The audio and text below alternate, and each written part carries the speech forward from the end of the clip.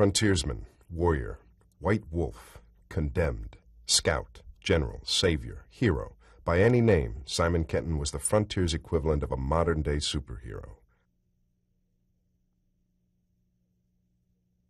He was bigger and stronger than any other man, and he made it his business to open up to the settlers the Kentucky and Ohio lands. Places he felt were the most beautiful on the face of the earth. He pledged to protect them from the dangers of life on the frontier and upheld that pledge his entire life. His legacy is present all over Kentucky and Ohio. We're here at the Champaign County Historical Society Museum in Urbana, Ohio.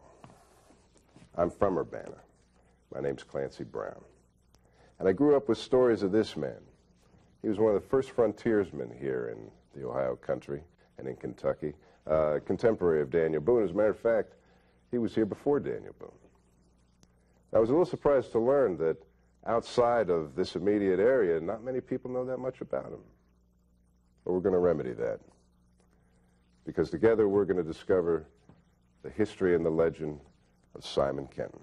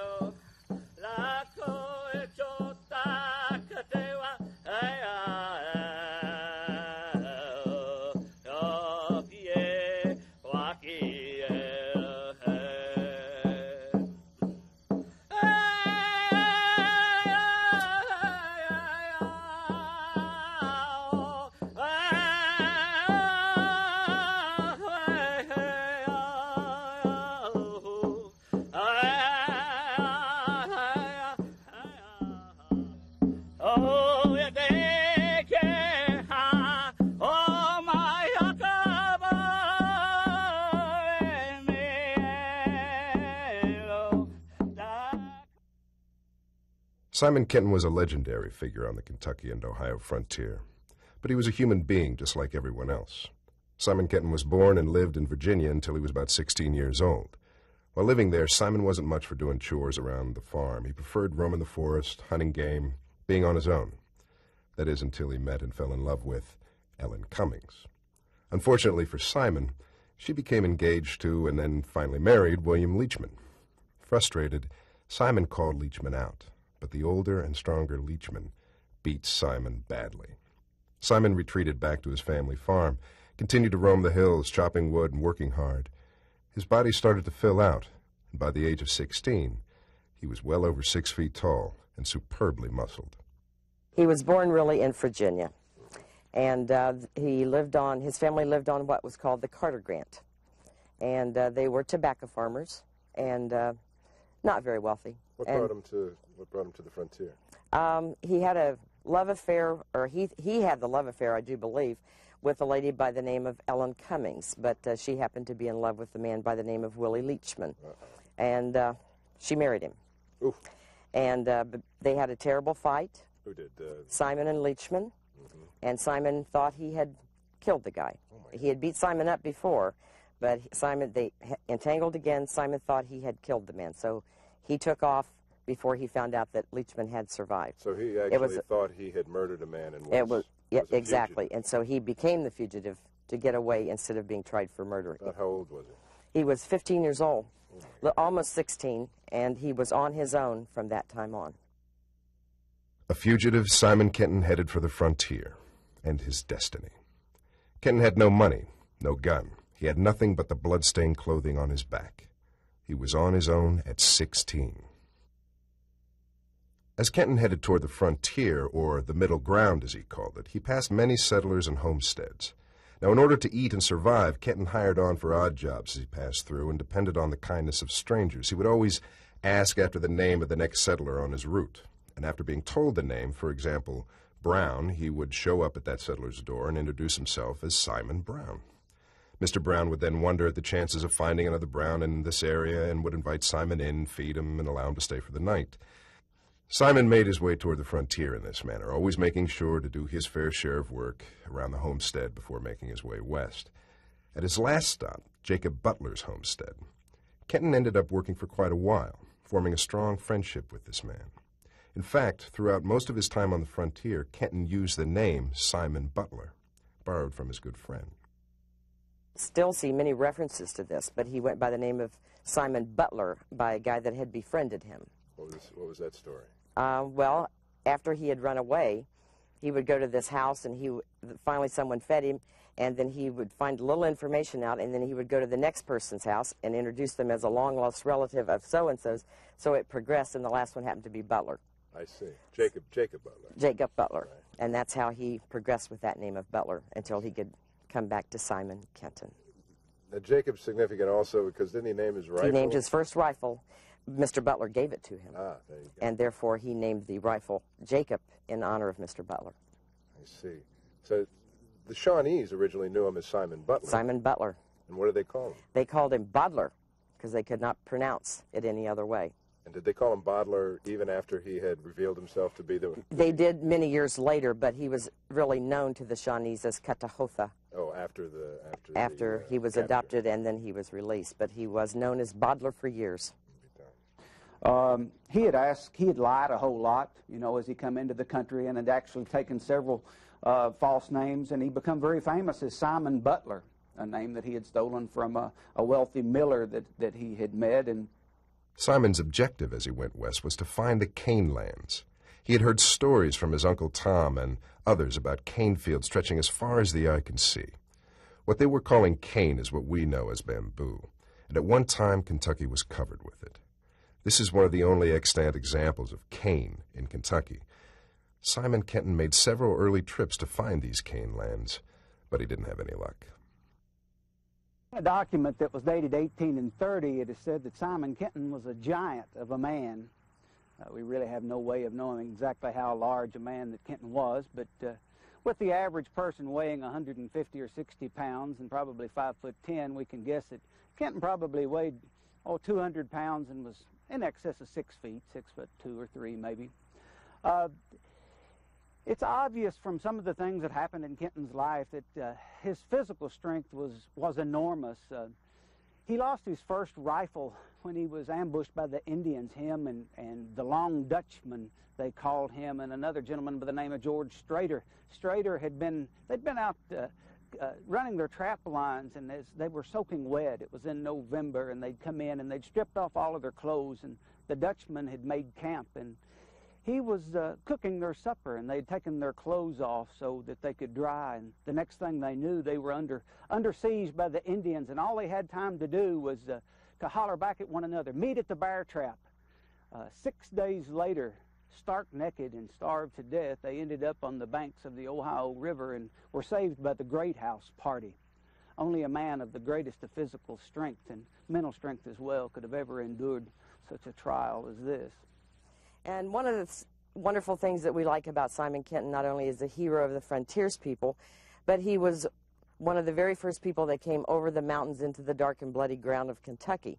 He was one of the first people that came into the old Northwest Territory.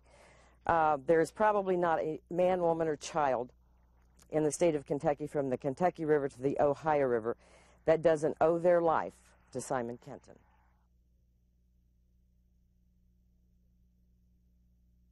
Simon Kenton decided he was going to find the Cane Lands.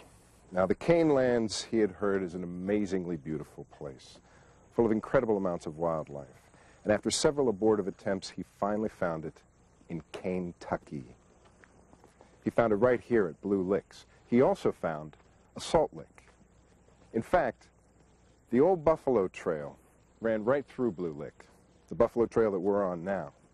Now, these buffalo in Kenton's time could go on for miles and miles and miles. And the herds would cut swaths through the forest as wide as four-lane highways. Even though Simon had found one of the most fertile places in America, he soon remembered he didn't enjoy farming. He wanted to be roaming the woods, and he soon headed back to the frontier. It was spring of 1775 before Simon Kenton finally found the cane lands of Kentucky that he'd heard so much about. Uh, he came into Kentucky this time with a gentleman by the name of Thomas Williams, and they quickly cleared a, an acre of corn within sight of what is now Old Washington.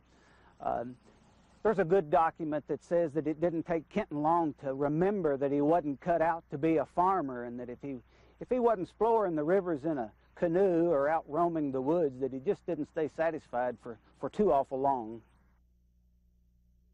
Simon Kenton's America was not like this country is today, obviously. For one, it was a much smaller world.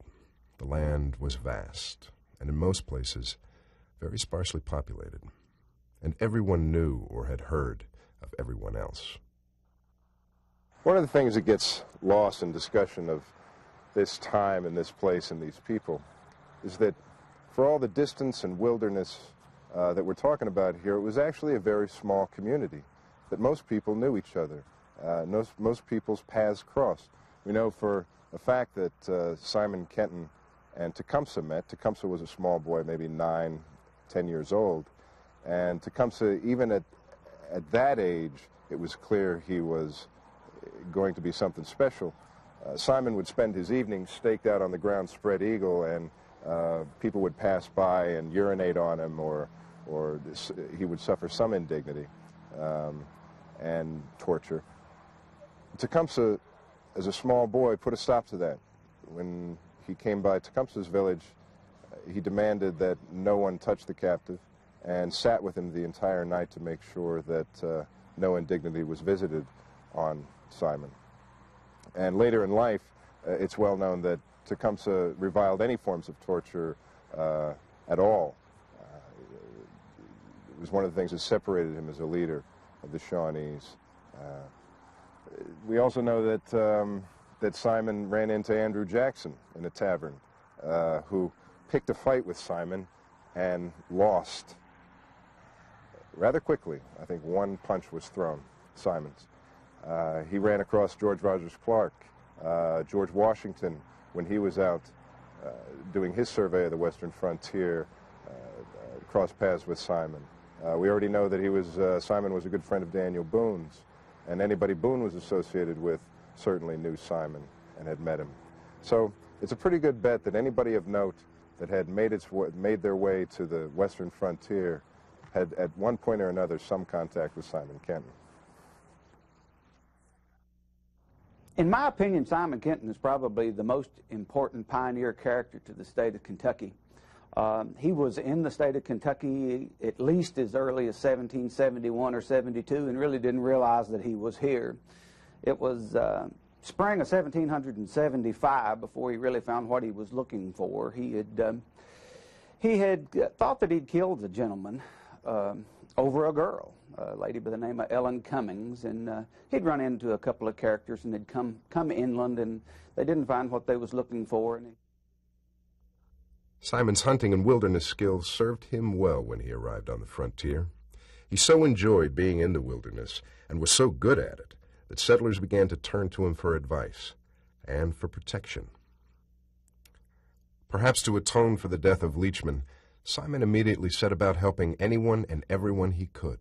He became the self appointed greeter of flatboats or keel boats coming down the Ohio River, and he would do everything he could to protect the settlers, from hunting for the settlements like Boonesboro and Harrodsburg to fighting off attacking Indians. He'd run into a couple of characters and they'd come come inland and they didn't find what they was looking for and he thought he was lost and went back and actually settled on the Great Kanawha for about uh, oh, three or four years. But in 1775, he found the cane lands that he had been told about and found all of the game. And from that point on, he actually became a welcomer in chief to the state of Kentucky. And his greatest uh, pleasure uh, was to bring people into the state and, and help them to go to where that they had heard about or towns that they had heard about and try to teach them enough to save their hair to keep from getting killed by the Indians.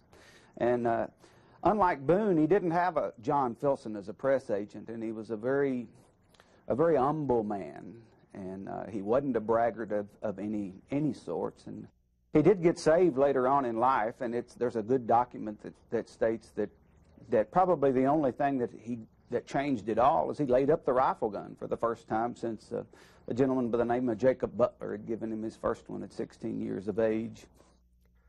Simon's strongest relationship was with Simon Girty, a small but tough man whom Simon saved from a beating at the hands of soldiers in one of the frontier forts. The two became fast friends, and then blood brothers. The sight of the two of them together, one tall and muscular and the other small and thin, must have been almost comical.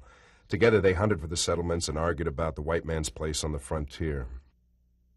They shared a kinship that remained despite Girty's adoption of the Indian lifestyle and his eventual siding with the British. Colonists labeled Girty a traitor, and he became known as the White Indian. He was one of the most hated men on the frontier. Simon Kenton, however, cherished their friendship his entire life and stood up for Girty when others wouldn't. When Girty proclaimed that he was leaving to join the Indians, Simon supported his decision, and together they vowed to protect each other forever, no matter what.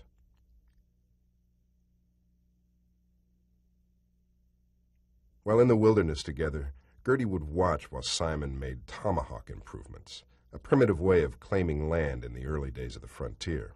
It was on one of these hunting and tomahawk improvement adventures that Simon and Girty pledged to be blood brothers forever, and that was a vow that Kenton lived by his entire life.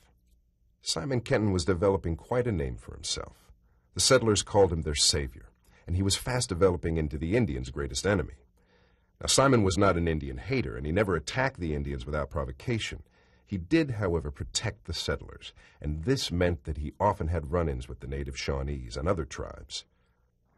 After several raids uh, between both sides in which prisoners were taken and horses were taken, the settlers destroyed the Macachee towns of the Shawnees.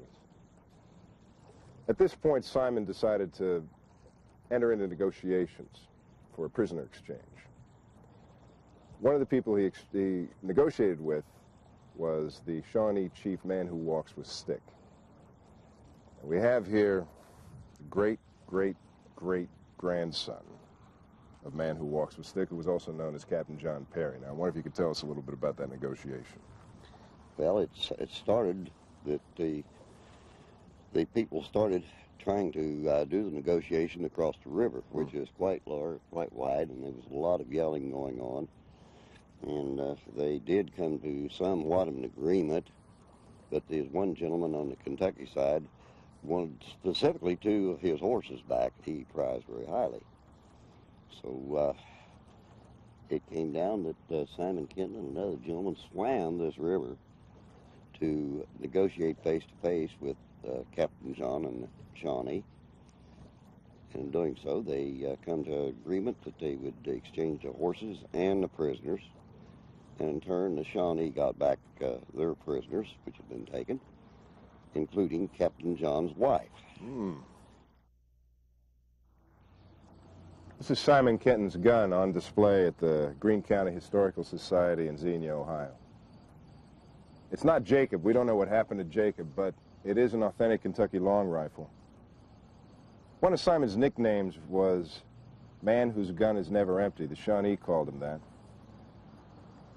And the reason they gave him that was because he was one of the few frontiersmen that could reload on the run. Now that's significant because this is a one-shot weapon.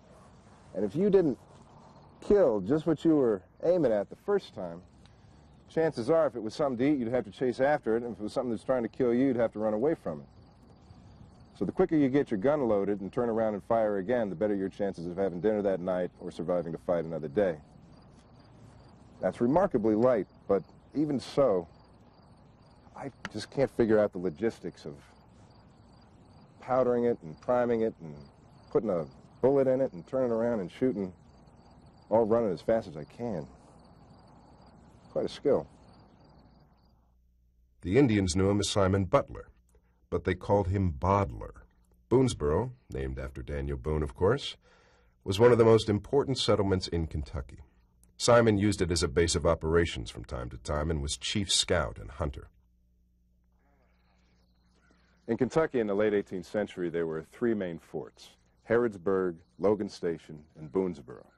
Now, none of these forts were very big affairs. In fact, most of the settlers lived outside the forts.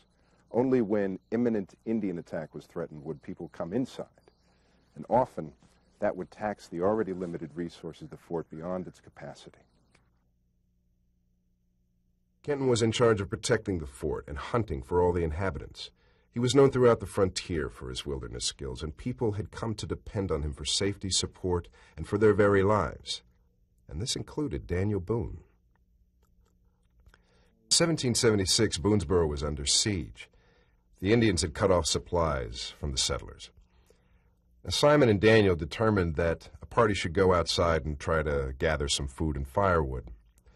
Boone first sent out two men, but as soon as they were far enough away from the fort, they were cut down by Indian fire. One man was killed, but the second was only injured. A couple of Indian warriors then emerged from the tree line in order to scalp the two men. Boone, with some others, broke from the safety of the fort in order to save their comrades from this atrocity. But as soon as they had gotten away from the walls far enough, another group of Indians emerged from the trees and cut them off from the fort. It had been a trick. Boone was hit in the ankle by a bullet almost immediately and collapsed to the ground. The Indians were closing in. Kenton, seeing the danger that Boone and his party were in, immediately left the safety of the fort and attacked. He shot an Indian that had been threatening Boone and then ran forward, reloading on the run. Boone pleaded with him to leave him alone and save himself, but Kenton would have none of it. Instead, he picked Boone up in his arms like a child and took off running for the gates of Boonesboro. In his way stood two Indian warriors, their tomahawks raised for battle. Simon, carrying Boone, couldn't bring his rifle or his knife or his tomahawk to bear, so he threw Boone at the two Indians, knocking them both down and one of them completely out. He buried his tomahawk in the skull of the second and then picked Boone back up, who had also been knocked out, and ran into the fort. When the siege of Boonesboro was over, Kenton's legend grew even larger. After saving Boone's life, Kenton continued to be the savior of the frontier. He hunted and protected for the settlers throughout the Kentucky Territory, including Fort Harrodsburg and other stations. When horses were stolen from Boonesboro one day in September of 1778, Simon and his friend Alex Montgomery, along with a relative tenderfoot named George Clark, went out to get the horses back. With Simon's wilderness skills, it was really no challenge to track and find the horses, and they stole them back under the cover of darkness. It was when they got back to the Ohio River that things got interesting. Here along the banks of the Eagle Creek, a minor tributary to the Ohio River, Simon Kenton began the most horrifying and brutal adventure of his life, for it was here he was taken prisoner by the Shawnee.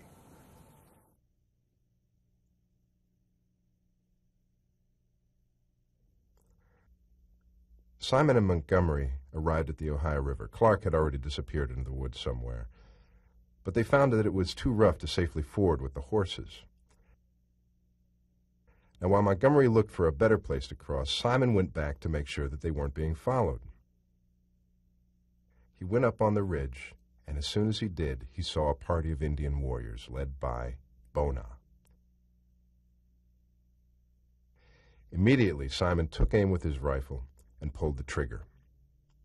Unfortunately, the shot was a flash in the pan, and Bona and his men saw Simon immediately. Simon took off running. The warriors gave chase, and even though Simon was faster and bigger than any man on the frontier, the five warriors were able to catch him because they were on horseback. Luckily, Bona and his warriors didn't recognize Simon as Bodler, their great enemy, and thought he was just another ordinary horse thief. They began to torture Simon. During the torture, Simon saw Montgomery up on the ridge and immediately turned the other direction and yelled for him to save himself, to get away as quickly as he could. Unfortunately, Montgomery didn't listen and fired on the group of warriors. His shot missed Bona by a hair. The warriors quickly chased him down and killed and scalped him. They came back to where Simon was being held and slapped him across the face with Montgomery's bloody scalp, calling him a horse thief. When the warriors tired of the torture, they staked Simon out on the ground for the night, naked and exposed to the cold night air. and the bugs of the wilderness.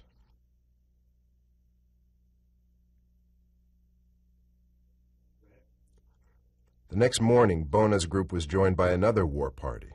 One of them recognized Simon for who he was, and Bona realized that he had captured the Shawnees' greatest enemy, Bodler. Simon had to run several gauntlets once he was discovered. Usually, when a captive was taken by the Shawnees, they would go to the first village or the village of the captor, and they would set up the gauntlet. Now, the gauntlet was two rows of people, all armed with sticks and bushes and brambles, uh, that ended at the council house. The captive would start at one end and then run the length of the gauntlet into the council house. If he made it, if he made it standing up, if he survived, if he didn't pass out, and he made it into the council house, then no one could touch him until they decided what to do with him. And they would either adopt him, uh, make him a slave, sell him to the British, and often, well, not often, but sometimes condemn him to death. They tied Simon naked to the bare back of a wild horse and slapped its rump, forcing the horse to run through the branches and thorns, cutting Simon's skin to pieces. But what they were doing now was nothing compared to what awaited Simon at the Shawnee villages they would visit. Simon was no ordinary prisoner. As soon as it was discovered who he was, Bona swelled with pride and knew that he had to take him to Chalagothar to run the gauntlet and have his fate decided. It was unheard of for any man to run more than one gauntlet, but Simon was no ordinary man. He went from town to town, given time to recuperate between each gauntlet. Each gauntlet was brutal and bloody and took a toll on Simon's body and mind. Along the way, though, he wanted to show him off, so he took him to every village along the way. And at every village, Simon had to run a gauntlet. Now, this is exceptional because no captive ever had to run more than one gauntlet. It was brutal. But Simon, by some accounts, ran as many as nine or ten. We know stories from at least three. Uh, it was a good bet that he ran between four and six gauntlets. In his first gauntlet, the villagers lined up. Women and children first, warriors second. Bona gave him the signal to begin the gauntlet after he was stripped naked. And the signal was a particularly brutal blow across the back, one so strong that it, that it knocked him to the ground. And the women and children started to beat him. But once Simon got up and started running, the women and children couldn't do very much damage. They had never seen someone like this before, someone as athletic and strong and swift as Simon. Uh, unfortunately, the warriors were at the end of the gauntlet, and they could see, they could prepare for his arrival. When he got to the warrior part of it, he was practically beaten senseless. He almost made it to the lodge, but then was tripped, uh, hit with a particularly brutal blow across his, the back of his legs. He was tripped. The entire village descended upon him and beat him. At some point, the beating stopped. He was picked up, taken back to the head of the gauntlet. The gauntlet was reformed, and he had to run it again. In another gauntlet, Simon decided that he was going to take his chances and he was going to escape this time. So he scoped it out before he ran it, and he saw some fat old squaw at one end with no teeth, perhaps, uh, getting ready to smack him with the, some bramble bush. And Simon took off and ran straight at this woman. And when, when he got to her, he laid right into her, jumped right in her chest, knocked her over, and started taking off for the hills. He might have made it too. He might have made it to the to the forest, and and there stood a, a a good chance of escape. Not a great one, but a good one. Unfortunately, Blue Jacket, one of the Shawnees war chief, was coming to that village to see Bodler, to see the great enemy of the Shawnees. Uh, he was a little late for the gauntlet, but he was just in time to run into Simon. Uh, Blue Jacket was on horseback, saw this enormous naked man running for the woods. Blue Jacket ran him down, took out his tomahawk, and struck Simon on the head with the pipe end, which punched a hole through Simon's skull. Simon fell unconscious and didn't regain consciousness for some days afterwards. This beautiful valley is the site of the Macacheek towns, one of the largest populations of Shawnee in the world. It was also one of the largest non-European populations on the North American continent at the time, until its destruction in 1786. This is the path up to Town, above the Macacheek towns, where Simon was brought to run yet another gauntlet, and to be judged by the elders of the Shawnee. Simon was being paraded around the towns and villages of the Shawnee Nation. Kenton was a real celebrity to the Indians, their greatest enemy, the giant who had battled them throughout the years, and it was quite a coup for them to have captured him.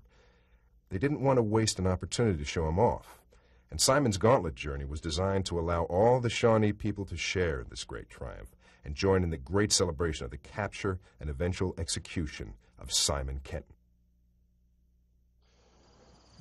This is Squaw Rock, the site of Moluntha's Town. It was at Town that Simon was brought to run a gauntlet and where he was ultimately judged and condemned to die by burning at the stake.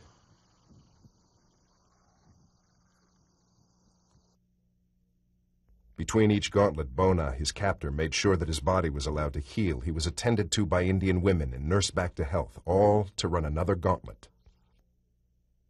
Bona, who had stayed with Simon through all the gauntlets, was making his way towards Wapatomica, the seat of the final judgment of the Shawnee Nation, where Simon would run his last gauntlet and then be executed. This is the site of Wapatomica, Chief Blackhoof's town. Blackhoof was the principal chief of the Shawnee. This is also where they brought Simon to begin the condemnation and execution rituals. And yes, the ritual included running another gauntlet. When Simon finally arrived at Chelagotha, he was in pretty rough shape. Remember, he had already been through between three and five uh, gauntlets already. So he was, he was hurting. And it was decided to allow him to convalesce, to take a few days, maybe a couple of weeks, and convalesce uh, and get strong for this last gauntlet. It was probably an excuse also for the Shawnee to gather more people to, to Chelagotha to, to witness this event. But you have to think as Simon is lying there getting better uh, just to be tortured again, that he was beginning to lose hope. I think he knew by this time that that his chance of adoption was pretty slim. About a year before, Daniel Boone had been adopted and accepted into the tribe, accepted as a brother Shawnee, and then betrayed him, be, betrayed the Shawnee, and gone back to Boonesboro. Add to that the fact that Simon's reputation was at least as big as Boone's. His physical stature was remarkable. He was a giant. And he probably became more emblematic of the white incursion into the Shawnee land than anyone else. So there was a lot of hatred built up that he was the focus point of. On the morning that he woke up, realizing this, you have to wonder what was going through his mind. He knew he probably wouldn't survive the gauntlet. And he knew that if he did, that he would be burned at the stake.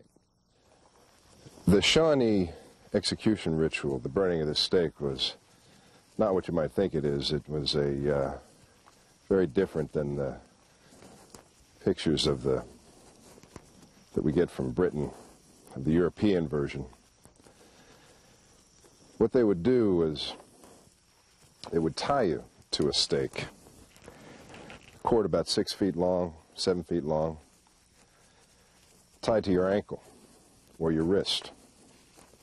Then they would build a fire, or they would build a fire around you in a ring.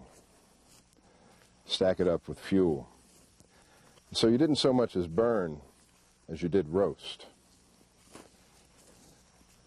Now, before they even lit the fire, the subject was tortured and beaten and stabbed, depending on how poorly he was regarded by the Shawnees at the time. We know this because of an account of the burning of Colonel William Crawford in the Upper Sandusky, who they didn't like very much at all. But I think it's a safe bet to say that at least Simon was respected enough to escape most of this torture. Couldn't have hurt him much anyway after what he'd been through. Now, the interesting thing about Simon's execution was that prior to it, he had been adopted and given the name White Wolf. You can speculate on why they adopted him. I like to think it was because he was such an example to them that they couldn't let him die with dignity and still be a white man, so they might as well adopt him and condemn him as a Shawnee. After you're condemned, you're painted black. And as soon as you are painted black, you are called Katahota, which means the condemned. And as far as the Shawnee were concerned, you were a walking dead man. From that time on, Simon was known as Katahota.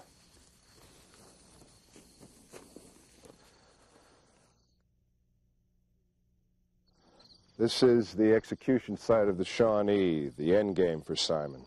There's a dance circle still here where the uh, Shawnee continue to conduct rituals.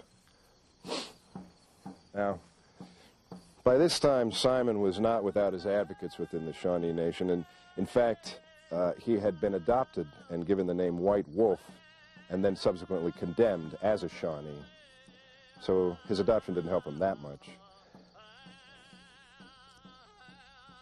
There's lots of stories about what happened the day that he was to be executed. My particular favorite is that he was tied to the stake. The circle of fuel was lit. And gathering force, and then the heavens opened up, and rain poured down and extinguished the fire. Now, to Simon's advocates, of course, this was irrefutable evidence that the Great Spirit uh, did not intend for this great white warrior to die in this manner. Blackhoof, however, was unconvinced and declared that Simon would be executed the next day. Well, by this time, word of Simon's capture had reached the British in Detroit through another frontiersman named Simon Girty. Girty and Kenton had been blood brothers since before the war. Girty went to the British and Kenton stayed on the American side. And Girty had convinced the British that Simon would be invaluable to their war effort and convinced them to, to buy him from the Shawnee. On the next day, the second attempt at execution, Simon was tied to the stake, the wood was lit around him, and in rides Simon Girty. Simon powwowed with uh, Blackhoof, and Blackhoof commanded that the fire be extinguished and that Simon be sold to the British.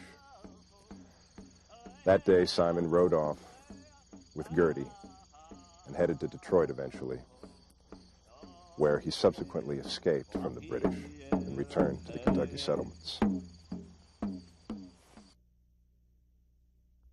Kenton was taken to Fort Detroit, and he teamed up with Simon Girty again, serving as scouts and hunters for the fort, a familiar role. Kenton was not content to remain a prisoner, however, and it wasn't too long before he began to set his gaze south, toward the Ohio and Kentucky country. Simon Girty knew his friend would not be there long, and looked the other way the night that Simon escaped. There are stories of other people inside the fort who, once they knew Simon Kenton helped him to escape, even though he was considered an enemy of the crown, the respect for Simon was great, even among the British.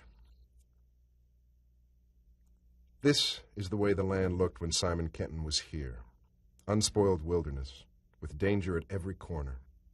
Even while Simon Kenton was a captive of the Shawnees, he was so struck with the beauty of the land that he vowed to come back and settle and live out his life in the Ohio country. Simon was making his tour of the Shawnee villages, one night he and his captors stopped at a natural spring. They tied Simon to a tree while his captors uh, drank from the natural spring. Simon took this opportunity to look out over the Mad River Valley, and he swore that if he survived this ordeal, he would come back to settle. He was so struck with the beauty. And indeed, that's what happened. This is the site of Simon's first Ohio homestead.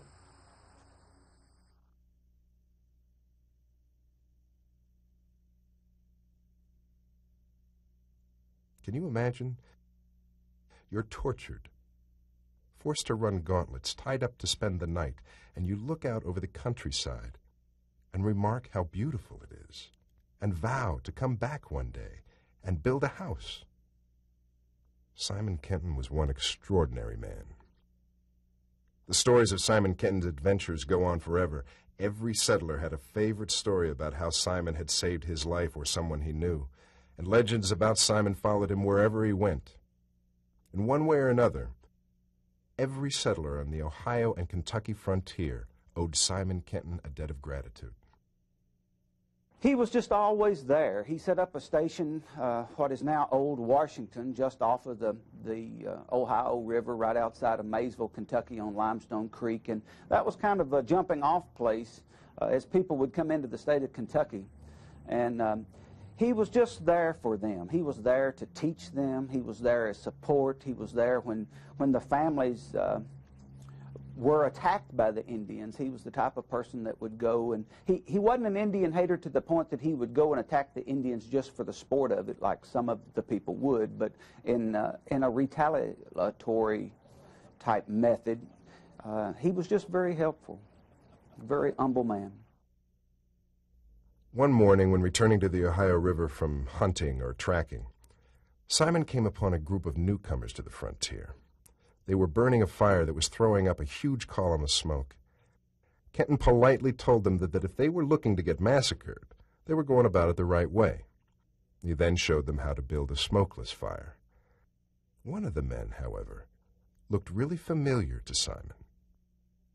Later on in life, after he had had all of his, a lot of his adventures, he'd even been into the Ohio country, uh, he was on the Three Islands where George Rogers Clark had put all the ammunition and everything, and they were coming back into that area on the Ohio River, and they uh, he saw this man that looked remarkably like him.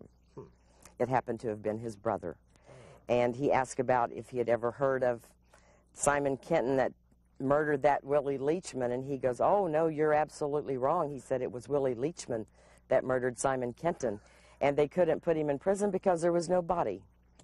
So Simon said, it's me, I'm alive. So at that point, he made up his mind he would go back and get his family, which eventually he did, he did and brought them back into the Kentucky country. Terrific. So it was actually nine years that he kept this name until he, by happen chance, ran into his brother and found out that he indeed had not killed Willie Leachman and that actually Leachman had been tried for his murder but acquitted for lack of evidence because they couldn't find Simon Kenton's body. Knowing that it was now safe to return to Virginia, he went there straight away. He walked into his old home, ducking to pass through the doorway now that he was full grown, and he hugged his mother. He once again took the name Simon Kenton, and the legend continued to grow. Simon kept his promise to himself and returned to the Ohio country to settle near modern day Urbana, Ohio. He built a house here on a site where he was tied as a captive for the night. He lived the rest of his life in Ohio and even brought his family to Ohio to settle, giving them a great deal of the land that he had claimed by Tomahawk's improvements over the years. This is a barn that Simon Kenton built with his own hands in Zanesfield, Ohio. He even brought out old Willie Leachman himself and gave him some land in Kentucky in which to settle. Simon Kenton was an illiterate man. He could neither read nor write. Uh, his wife Elizabeth, in later years, taught him to write his name Simon Kenton. Uh, Simon Kenton knew what a disadvantage this was to him, and he took it upon himself to send the Indian children and the pioneer children to school himself. This land is part of Simon Kenton's original holdings, and his son settled on this property. If you watch and listen closely, you can imagine that you are walking in Simon's footsteps as he made his way through the frontier.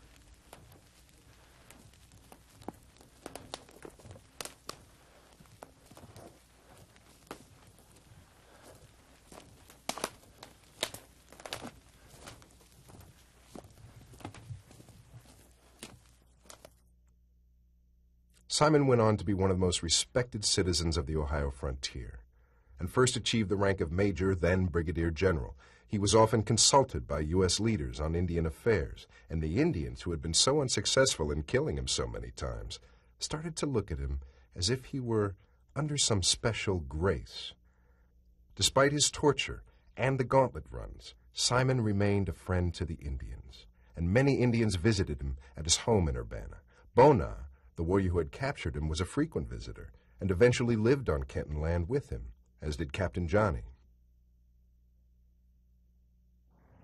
In my opinion, Simon Kenton is probably the most important pioneer character to the state of Kentucky. Um, he, a lot of times people will ask the question if Kenton was an Indian hater, and he was probably much more like the Indians than the vast majority of white men by um, Oh, by 1790, he'd done got fed up with all of the land speculators coming into the state of Kentucky, and he'd moved across the river into Ohio Territory, Champaign County, and and uh, in later years become great friends with the Indians. There was uh, even uh, while he was captured, when him and Alex Montgomery had, had gotten captured back, they'd made him run the gauntlet nine times, and of course each time the I guess the really the in the gauntlet, what they try to do is to knock you to the ground, uh, but yet not kill you. And he'd been uh, given a nurse, and the, the Indian's uh, name was Bona, that was given the, the job of nursing him back to health each time so he could run the gauntlet again. And I know in later years there's a neat document of where Bona would come to Kenton's house and always wanting food or favors or and uh, one time Kenton, he was a celebrated old man, so he was entertaining guests, and um, anyway, Bona was very obnoxious, come in and belching and picking his teeth, and Kenton jumped to his feet and said, Bona, why do I put up with you? As, as Bona arrogantly said, because I let you live, Butler, because I let you live.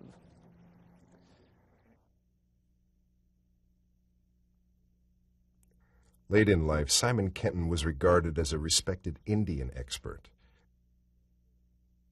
During the War of 1812, Kenton was called to a battlefield to identify the body of Tecumseh, the great Shawnee chief. Kenton took his time, examining the bodies of over 300 Indians. When he found Tecumseh, he hesitated, for he knew that Tecumseh's body would be mutilated by the soldiers for souvenirs. Instead, he pointed out another body close by, one that was wearing a lot of jewelry. And as the soldiers went about stealing everything they could jewelry, clothing, even cutting into the body for souvenirs Kenton is said to have turned to Tecumseh's body and said, There have been cowards here.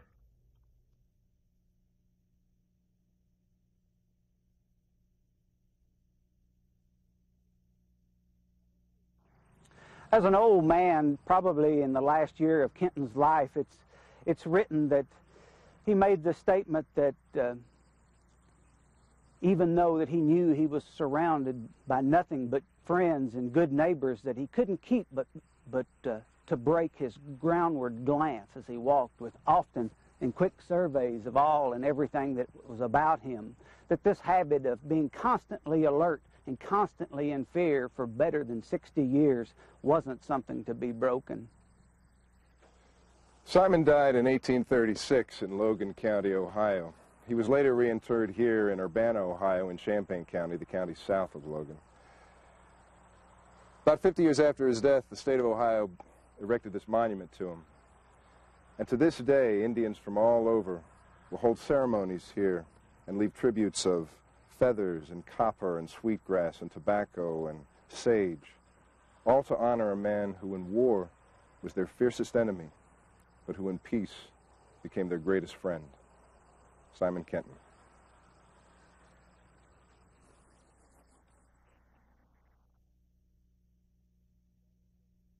Simon Kenton is still assisting travelers across the Ohio River in the form of the Simon Kenton Memorial Bridge. Built in the 1930s, it connects Maysville, Kentucky to Aberdeen, Ohio. Now, to the settlers in Kentucky, the Ohio country was wilderness, absolute frontier, completely unexplored and very, very dangerous. It was here that Simon would meet the flatboats coming down the river, full of neophyte settlers, and conduct them to a station which would serve as a safe haven for their continued travel.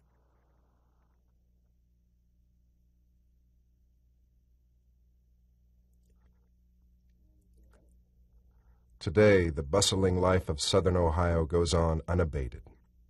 Cars fly by the sites where Simon Kenton risked his life to make the land safe for homesteaders and settlers. Recently, the state of Ohio designated State Route 68 the Simon Kenton Memorial Highway.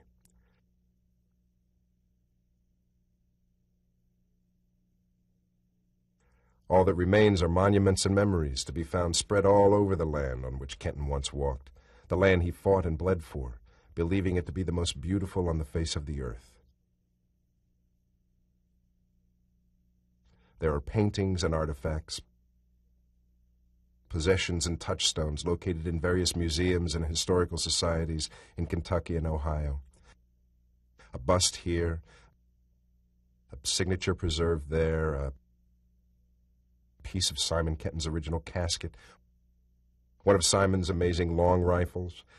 Not much else is left to document the life of this great man.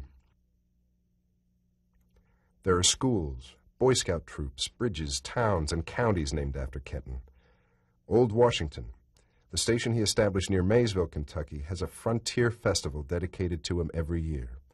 People, some, some of them kin to Kenton, come from all over the country to honor this great man and for a weekend of frontier living, reenactments, food, fellowship, and fun. All these memories and memorials are testament to the legend of Simon Kenton, early America's greatest frontiersman.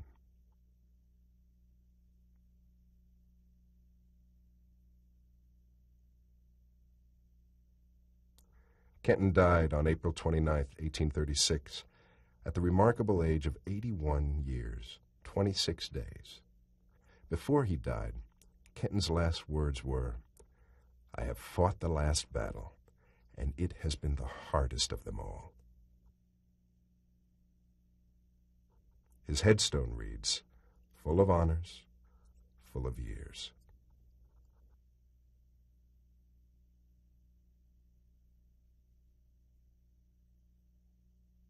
Quiet now here. Been many winters since the wars have passed. My people are out west and up north in Canada. And it's peaceful. The birds are singing. But at night, the spirits roam restlessly, awaiting their return.